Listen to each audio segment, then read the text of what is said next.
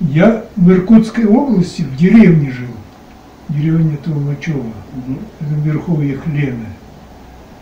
Вот работал в колхозе 17 лет. Призвали меня в армию. В 43-м декабре месяце. Увезли в Иркутск.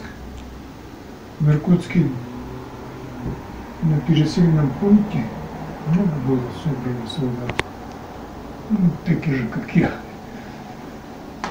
Нас собрали некоторые, сколько там вагонов, много, в общем, и увезли на восток. За Читу в 70, на 77-й разъезд привезли. И там нас начали разбирать танкисты, значит, себе в танковые части, связисты в связь. Ну, кто куда хотел. Я что-то посмотрел, решил в связь пойти. Ну, меня забрали связисты. Ну и повезли на 77-й разъезд. Привезли в часть, отдельный батальон связи. И вот там меня определили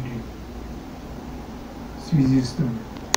И вот я в этом батальоне связи пробыл до декабря месяца. Служил Ну. лето там пробыл, в Монголию нас за границу на два месяца часть передавали, мы там связи обслуживали. И в декабре месяце вызывают в часть в этом штаб. На фронт хочешь? Поедешь на фронт? А кормили плохо. Говорю, поеду. И нас набрали целый эшелон. Нас раз- раздели, одели в новую форму. И это, в эшелон погрузили нас две с половиной тысячи, что ли. Э, Маленький вагон, 40 человек. Большой вагон, пульман, 80 человек. И вот так, вот такую повезли на запад. Из, а, из Забайкалья повезли на, на запад.